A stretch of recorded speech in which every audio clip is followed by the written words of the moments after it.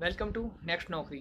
Next Naukri channel में आप लोगों का स्वागत है। जो चैनल पे पहली बार विज़िट कर रहे हैं, वो चैनल को ज़रूर लाइक कीजिए, चैनल को सब्सक्राइब कीजिए और शेयर कीजिए अदर ग्रुप्स में भी, जिससे कि वो लोग भी बेनिफिट्स उठा सकें, ठीक है? तो देखिए, हम जो बात करने जा रहे हैं, ये है आपका आर्मी पब्लिक स्कूल्स के अंदर वैकेंसियाँ निकली। जो एक आर्मी पब्लिक स्कूल्स हैं, उसके अंदर वैकेंसीज़ हैं और वैकेंसीज़ के लिए एक ये स्कोर कार्ड्स देने वाले हैं, जो एग्ज़ाम होने वाला है आपका। और ये इन्होंने शुरू में लिख रखा कि आपका एग्ज़ाम के टाइम स्क्रीनिंग के टाइम पे जब शुरू का जो आपके एग्ज़ाम्स है, उस समय सी टेट नहीं भी होगा तो चलेगा बट आपको जब ज्वाइनिंग लेनी है, तब आपके पास सी टेट होना चाहिए। तो ठीक है, इस एडवर्टाइजमेंट को हम पूरा पढ़ेंगे। एडवर्टाइजमेंट पहले आपको एक सूचना कि देखिए, ये जो एडवर्टाइजमेंट है, इस पर थोड़ा सा मुझे यकीन कम रहता है, क्योंकि ये वैकेंसी हर साल आती हैं और इसमें कुछ इस तरीके का स्केल्स सैलरी ऐसा कुछ मेंशन नहीं रहता है, ठीक है? और ये फ़ीस ले रहे हैं एग्ज़ाम्स के लिए। और बोलते हैं सीबीएसई के जो भी इनके लोकल स्कूल्स हैं या जो भी दिल्ली के अंदर स्कूल्स हैं उस समय उसके लिए ये पोस्टें आती हैं। पोस्टें तो आती हैं स्कूल्स भी हैं, ये कोई दिक्कत नहीं है, इसमें कोई डाउट नहीं है। बट ये एवरी ईयर से इतनी पोस्टें ये निकालते हैं और पेमेंट जो लेते हैं फ़ीस का एग्ज़ाम्स के लिए वो है मैटर थोड़ा सा, ठीक है? तो आप ज़रूर अपना विवेक का यूज़ कीजिए, पूरी इनकी वेबसाइट विज़िट कीजिए। जब आपको लगे कि आप यहाँ पे अप्लाई कर सकते हैं ये जो इन्फॉर्मेशन है बिल्कुल राइट इन्फॉर्मेशन है उसके बाद ही आप यहाँ पर जाइए ठीक है? खाली मेरे वीडियो बनाने से आपको यहाँ पे अप्लाई नहीं करना है क्योंकि फ़ी अच्छी खासी ले लेते हैं पेपर के लिए उसके बाद का मुझे इन्फॉर्मेशन इसमें ज़्यादा नहीं है ठीक है? तो एडवर्टाइजमेंट आया इसलिए मेरा मैंने सोचा कि चलो इस पर वीडियो बनाते हैं आप लोगों को अवेयर कर देते हैं तो आपको ज़रूर यहाँ पे आ, अपना विवेक यूज़ करना है ठीक है? शुरू करते हैं एडवर्टाइजमेंट इनके लिखा है there are one thirty seven public schools हैं इनके जो ठीक है? और इन्होंने लिखा है कि 8000 teachers on the role of the this schools 8000 teachers यहाँ पे वर्क कर रहे हैं और इन्होंने get every year due to various reasons तो जो लिखा है लार्ज नंबर गेट जो इन्हें चाहिए होता है लार्ज नंबर एवरी ईयर चाहिए देखो, मैं बता रहा था कि एवरी ईयर ये निकालते हैं, इस तरीके की पोस्टें इतनी सारी। तो टीचर्स हो सकता है, छोड़ के चले जाते हों और ये कॉन्ट्रैक्ट पर देते हो सैलरी उस तरीके की देते हों। तो ये इसके बारे में इन्होंने कुछ क्लियर नहीं लिख रखा है तो वो आप लोगों को देखना है, ठीक है? तो आगे इन्होंने लिखा है स्टेज फ़र्स्ट स्क्रीनिंग एग्ज़ाम। तो जो आपका फ़र्स्ट है, वो स्क्रीनिंग एग्ज़ाम रहेगा। वो 19 और 20 अक्टूबर 2019 को रहेगा, ठीक है? जो इनके स्कूल स्कूल्स रहेंगे उनके लिए। और एक score card will make candidate eligible to appear for the remaining stages of the selection process. तो आपको एक स्कोर कार्ड दे देंगे तो आपको वो स्कोर कार्ड अपने पास रखना है, ठीक है? स्कोर कार्ड के द्वारा ही आप फिर सेकंड जो प्रोसेस है, इनका इंटरव्यू का, उसमें जा पाएँगे। लिखा है holders score card who want to improve their score मतलब आप इम्प्रूव भी कर सकते हैं नेक्स्ट एग्ज़ाम देखें। Those desires of the upgrading themselves for the candidate holding scorecard for TGT may no want to obtain card of PGT having acquired additional qualifications. तो ये इन्होंने कुछ डिटेल्स लिख रखी हैं। इतनी क्लियर्स तो नहीं है सारी बातें बट मुझे जो समझ में आ रहा है उसके लिए यही है कि आपको स्कोर कार्ड है, आप इम्प्रूव कर सकते हैं, उसका दोबारा से एग्ज़ाम दे सकते हैं और आपको जब स्कोर कार्ड मिल जाएगा, उसी के बाद आप नेक्स्ट जो इनका प्रोसेस है, उसमें आप जाएँगे, ठीक है? वो आप पढ़ लीजिए इनका एडवर्टाइजमेंट की वेबसाइट से डाउनलोड करके पढ़िएगा ज़रूर, फिर उसके बाद ही अप्लाई करिएगा। सेकंड स्टेज देखिए, यहाँ पे क्या रहने वाला है? इंटरव्यू का रहने वाला है। आपको इंटरव्यू में जाना है, उसके बाद आपका थर्ड जो स्टेज रहेगा evaluation of test teaching skills and computer proficiency ठीक है, आपको कंप्यूटर्स की नॉलेज अच्छी होनी चाहिए टीचिंग स्किल्स अच्छी आनी चाहिए। थर्ड स्टेज आपका ये रहेगा, उसके बाद ही यहाँ पे आपका सिलेक्शन होने वाला है। ठीक है stage two three will be held on tandem under the agencies of board of administration at headquarter command school management ठीक है? तो जो आपको बाद में जॉब मिलने वाली है, वो बोर्ड पे निर्भर करेगी, जहाँ जहाँ पे लोकल इनके स्कूल्स होंगे, वहाँ पे जैसे जैसे जॉब्स आएँगी, उसके हिसाब से, ठीक है? Appointment will be made as per CBSE और इनका जो खुद का बोर्ड है, उसके अनुसार, ठीक है? रूल्स इन्होंने बना रखे हैं सीबीएसई के रूल्स फॉलो कर रहे हैं, उसके हिसाब से, ठीक है? आगे पढ़ते हैं online screening test online screening test में क्या लिखा है? The qualify to interview evaluation और teaching skill the candidate should have pass the online screening test this has been schedule 19 और 20 अक्टूबर 2019 ठीक है? उसके बाद आपका शेड्यूल है 19 और 20 का जो आपका एग्ज़ाम्स है, ठीक है? Centre across the country the general guidance and candidate are given in the screening paragraph ठीक है? Category of the teachers the exam will be जो पोस्ट का एग्ज़ाम है वो पीजीटी टीजीटी और पीआरटी ठीक है? पीजीटी टीजीटी और पीआरटी का आपका एग्ज़ाम होने वाला क्वालिफिकेशन से इन्होंने यहाँ पे दे दी है। पीजीटी के लिए पोस्ट ग्रेजुएशन चाहिए फिफ्टी परसेंट मार्क बीएड और बी फिफ्टी ठीक है? टीजीटी के लिए ग्रेजुएशन में फिफ्टी और बीएड में भी फिफ्टी ठीक है? ग्रेजुएशन में, अब पीआरटी के लिए ग्रेजुएशन मांगा है इन्होंने। ग्रेजुएशन और चाहिए मिनिमम क्वालिफिकेशन फिफ्टी, और बीएड और टू ईयर डिप्लोमा जो आप कर होंगे, उसमें भी आपको फिफ्टी मार्क्स होने चाहिए, ठीक है? और इन्होंने एक कंडीशन अच्छी लिखी है post graduate with less than fifty percent marks in graduation but more than fifty marks post graduation with the subject applied for the show also eligible ठीक है? तो इन्होंने लिखा है कि अगर फिफ्टी परसेंट से मार्क्स कम है किसी का ग्रेजुएशन में, अगर उसके पोस्ट ग्रेजुएशन में फिफ्टी है तो भी वो एलिजिबल है वहाँ पे अप्लाई करने के लिए, ठीक है? ये भी और लिखा है इन्होंने detailed list of minimum qualification for teacher in army public schools तो जो मिनिमम क्वालिफिकेशन है, वो लिख दी इन्होंने। और जो एज रहने वाली है, देखिए एज एक अप्रैल 2020 ठीक है? एक अप्रैल 2020 तक के लिए इन्होंने एज लिख दिया। फ्रेश कैंडिडेट के लिए बिलो 40 इयर्स लिख दिया है। केस ऑफ़ दिल्ली में रहेगा टीजीटी पीआरटी शुड बी 29 और पीजीटी 36 ठीक है? टीजीटी पीआरटी जो अगर दिल्ली में जो जॉब लगेंगे उनकी ट्वेंटी नाइन ईयर्स रहेगी और पीजीटी के लिए थर्टी सिक्स ईयर ठीक है? एक्सपीरियंस कैंडिडेट जिनके पास एक्सपीरियंस है बिलो फिफ्टी सेवन ईयर ठीक है? और केस इन दिल्ली दिल्ली में फोर्टी ईयर्स वाले अवेलेबल होंगे और इंडिया के अंदर कहीं भी भी फोर्टी सेवन वाले भी जॉब कर पाएँगे, ठीक है? C TET T TET C TET और TET is not mandatory is the appearing on the online screening test जो ऑनलाइन पेपर होने वाला उस समय ने कोई ज़रूरत नहीं है, अगर अपने पास सी नहीं है। इन्होंने लिखा however C TET TET conduct by central state government is mandatory for appointment of T G T P R T अगर आप T G T P R T में टीचर बनते हैं, जब आपको अपॉइंटमेंट लेटर देना है, उस समय आपके पास या तो टेट पास होना चाहिए या जिस भी स्टेट में आप अप्लाई कर रहे हैं, वहाँ का टेट क्लियर होना चाहिए, ठीक है? उससे पहले नहीं भी होगा तो चलेगा एक बार। इन्होंने यही लिखा है, ठीक है? और बात करते हैं screening test screening test 2009 will be ठीक है? इसमें एग्ज़ाम्स में क्या क्या आने वाला वो दो उन्नीस बीस अक्टूबर 2019 यहाँ पे इन्होंने एग्ज़ाम की डेट लिख दी है।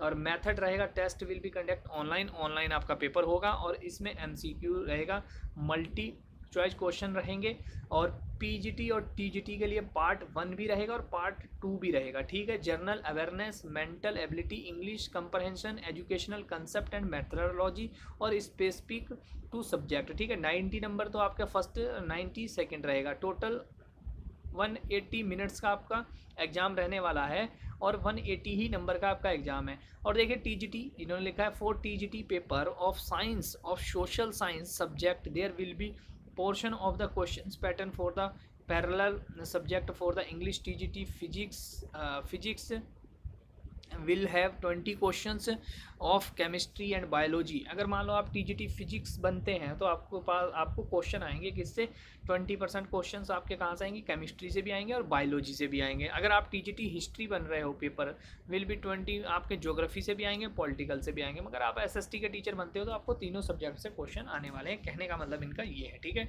नेक्स्ट पार्ट देखते हैं, जो पार्ट आपका प्राइमरी के लिए रहना पी आर टी के लिए। उसमें है general awareness mental ability English comprehension educational concept and methodology ठीक है? तो ये सब आएगा 90 नंबर का आपका पेपर है और 90 मिनट में आपको पेपर देना है, ठीक है? और P G T T G T candidate who fail in part B but pass part A may option to take as a score card for P R T ठीक है? इन्होंने लिखा कैंडिडेट हु फेल अगर fail हो जाते part B में तो part A में option to take as a score card for PRT, ठीक है? पीआरटी के लिए स्कोर कार्ड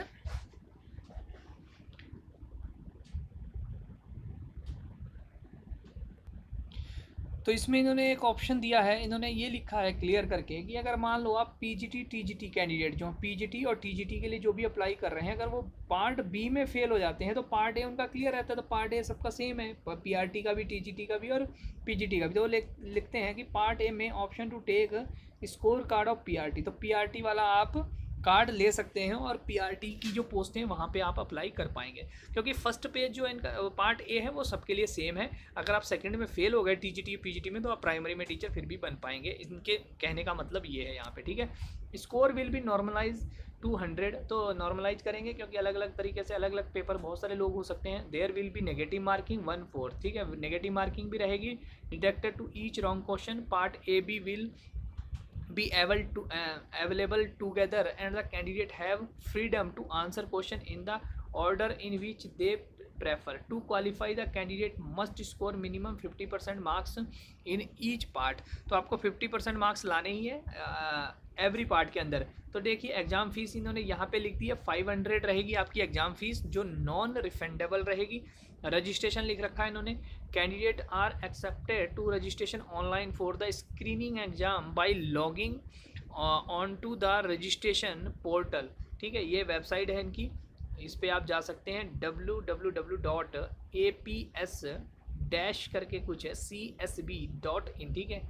गूगल पे लिखेंगे आर्मी पब्लिक स्कूल वैसे भी इनकी वेबसाइट आ जाएगी और ये भी आप देख पा रहे हैं वेबसाइट यहाँ पे मैंने इसको मार्क किया है तो यहाँ पे आप देख पाएँगे इनकी वेबसाइट पे ज़रूर आप विज़िट ज़रूर कर लीजिए एक बार, ठीक है? The registration portal will be open एक सितंबर एक सितंबर से इनका रजिस्ट्रेशन पोर्टल ओपन हो चुका है, जो 21 सितंबर 2019 तक कैंडिडेट कैन रजिस्टर कर सकेंगे 10 एम से शुरू होने के बाद एक सितंबर से पाँच पीएम 21 सितंबर। तो शाम के पाँच बजे तक 21 सितंबर तक ऑनलाइन पोर्टल अवेलेबल रहेगा। उसके बाद ये रजिस्ट्रेशन जो मैटर है, ये सारा क्लोज हो जाएगा।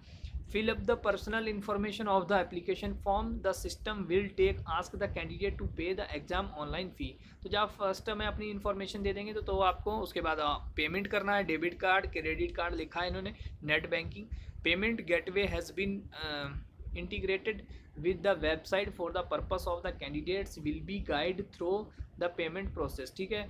उसके बाद आपको photograph proof date of birth certificate academic qualifications ये सब आपको डिटेल्स उसमें रख, रखनी है। ठीक है, इनकी वेबसाइट आपको मैं बता ही चुका हूँ। तो एग्ज़ाम जो सेंटर रहने वाले हैं, उनकी इन्होंने लिस्ट दे रखी है नीचे तो वो भी बात कर लेंगे। उसके अलावा मुझे लगता नहीं अब इसमें और कुछ बचा है। इनकी वेबसाइट पे जाके विज़िट ज़रूर कीजिए। और इस और इन्होंने लिख रखा है, रजिस्ट्रेशन जो रहेगा वो एक सितंबर से बाईस सितंबर available of the admit card चार अक्टूबर में आ जाएँगे आपके टेंटेटिव जो दे रखी डेट एग्ज़ाम उन्नीस और बीस अक्टूबर में रहेगा। पब्लिकेशन ऑफ़ द रिज़ल्ट जो रहेगा वो तीस अक्टूबर को आपको रिज़ल्ट भी मिल जाएगा, ठीक है? सैंपल क्वेश्चन पेपर जो है, इनकी वेबसाइट पे आपको मिल जाएँगे। लिखा है इन्होंने sample question papers previous year shall be available for fee desires candidate have to demand to log in the तो मतलब आप इनके जो सैंपल पेपर्स हैं लास्ट ईयर के, वो भी आप वहाँ से ले पाएँगे इनकी वेबसाइट से। पार्ट ए का आपको हंड्रेड रुपीज़ पे करना है पार्ट बी का हंड्रेड स्पेसिफिक सब्जेक्ट ठीक है? अगर आपको पेपर लेने हैं तो उसकी इन्होंने पेमेंट लिख रखी है, आपको वो पेमेंट देनी है और आपको वहाँ से पेपर डाउनलोड कर पाएँगे इनकी वेबसाइट से जाके, ठीक है? तो काफ़ी सारी मैटर लिख रखे हैं इन्होंने। तो देखिए जो paper list of the public schools हैं तो ये देखिए, A P S Pune A P S किरकरा Dighi Dehu road Devali Mumbai Ahmednagar तो ये पूरे स्कूल्स की लिस्ट है। आप यहाँ पे उसे स्टडी कर सकते हैं, देख सकते हैं कि कहाँ कहाँ पे इनके स्कूल्स हैं, जो इन्होंने बता रखे हैं। शुरू में कि इनके टोटल स्कूल्स हैं एक सौ सैंतीस स्कूल्स ठीक है? तो list of the subject PGT देखिए अभी लिस्ट दे दी इन्होंने। इंग्लिश पीजीटी रहेगा, Hindi PGT Sanskrit history geography economics political science physics तो सारे में है, ठीक है? सिर्फ़ टीजीटी किसमें नहीं रहेगा? एक तो इकोनॉमिक्स का टीजीटी का कोई पोस्ट नहीं है यहाँ पे। आप देख सकते हैं टीजीटी इकोनॉमिक्स की कोई पोस्ट नहीं है, ये देखिए। उसके अलावा आपके बायो टेक्नोलॉजी की कोई पोस्ट नहीं है यहाँ पे। टीजीटी में साइकोलॉजी की कोई पोस्ट नहीं है टीजीटी में और कॉमर्स की कोई पोस्ट नहीं है टीजीटी के अंदर। और होम साइंस की कोई पोस्ट नहीं है टीजीटी के अंदर, ठीक है? उसके अलावा सारी टीजीटी की पोस्टें हैं, जितना ये सब्जेक्ट ले रखे हैं, चार से पाँच पोस्टें इसमें नहीं है। और पीजीटी की इतनी सारी की सारी पोस्टें हैं, सिर्फ़ संस्कृत को छोड़ के, संस्कृत की कोई पीजीटी की पोस्ट यहाँ पे अवेलेबल नहीं है, ठीक है? Minimum qualifications for the teacher in army public schools इन्होंने बता दिया है, और मैंने भी आपको शुरू में ही बता दिया था। मास्टर डिग्री इन इंग्लिश अगर पीजीटी बनना है तो प्राइमरी अल्टरनेटिव ठीक है एजुकेशनल पीजीटी के लिए English master degree, Hindi master degree, Hindi बनना है तो ज्योग्राफी है तो सबके लिए मास्टर डिग्री होनी चाहिए। मैथ के लिए मास्टर डिग्री मैथ में होनी चाहिए। ठीक है M A public administration related ये अलग है अल्टरनेटिव अगर इन्होंने दिया है तो बी एड होना चाहिए सभी का। इन्होंने बिल्कुल क्लियर यहाँ पे मेंशन की हुई है सारी बातें। क्या क्या क्या चाहिए? टीजीटी के लिए यहाँ पे लिख रखा है इन्होंने, क्या क्या होना चाहिए आपके पास? आप देख सकते हैं, यहाँ पे स्क्रीनशॉट भी ले सकते हैं और जब इनकी वेबसाइट से जाके आप डाउनलोड कर लेंगे तो भी आप यहाँ पर ये सब देख पाएँगे। ठीक है पीआरटी के लिए तो लगभग हम शुरू में बात कर चुके हैं चुके हैं इसके बारे में। लिस्ट ऑफ़ एग्ज़ाम सेंटर ठीक है? ये अगरतला, आगरा मतलब हर जगह इनके सेंटर्स हैं जहाँ पे आपके एग्ज़ाम होने वाले हैं ऑनलाइन सेवेंटी फोर सेंटर्स दे रखे हैं इन्होंने, ये भी देख सकते हैं आप, जहाँ पे आपके एग्ज़ाम होंगे, ठीक है? तो देखिए, इस एडवर्टाइजमेंट में सिर्फ़ इतना ही था, मगर मैं फिर भी बोलूँगा इस एडवर्टाइजमेंट में, क्योंकि सैलरी की कहीं पे भी बात नहीं की गई है तो जब सैलरी की बात नहीं है तो ग्रेड पे कुछ मैटर कुछ इसमें समझ में नहीं आ रहा और पेमेंट ले रहे हैं फाइव हंड्रेड तो इसलिए मैं आपसे कहूँगा कि आप इनकी वेबसाइट पर विज़िट कीजिए और जो इनके और स्कूल्स हैं, उनके बारे में फुल इन्फॉर्मेशन निकालिए कि ये वाकई में ओरिजिनलिटी में ऐसी तरीके से, इसी तरीके के प्रोसेस और अच्छी सैलरीज और अच्छी पोस्टें देते हैं। क्योंकि एवरी ईयर्स आठ हज़ार पोस्टें निकालना और फिर इतनी फ़ीस लेना तो इसमें मुझे थोड़ा सा रहता है बट फिर भी एडवर्टाइजमेंट आया है तो मैंने सोचा, चलो आप लोगों को अवेयर कर दूँ, क्योंकि लोग तो फॉर्म भरेंगे भरेंगे। मैं नहीं बनाऊँगा तो कोई और बता देगा। तो इसलिए आपको पूरा अवेयर होने के बाद ही यहाँ पर अप्लाई करना है। तो इसमें है सिर्फ़ इतना ही। थैंक यू धन्यवाद। अवेयर ज़रूर रहिए। जब भी हम कोई भी वीडियो बनाएँ, हम बनाएँ या कोई भी उसे चेक अच्छे से कीजिए क्योंकि पैसा भी आपका है टाइम भी आपका है और टाइम वेस्ट और पैसा वेस्ट तो फिर कुछ मतलब नहीं रह जाता है। तो वीडियो ओरिजिनल देखिए ओरिजिनलिटी की बातें कीजिए, उसके बाद ही आप यहाँ पे अप्लाई कीजिए, ठीक है? थैंक यू धन्यवाद।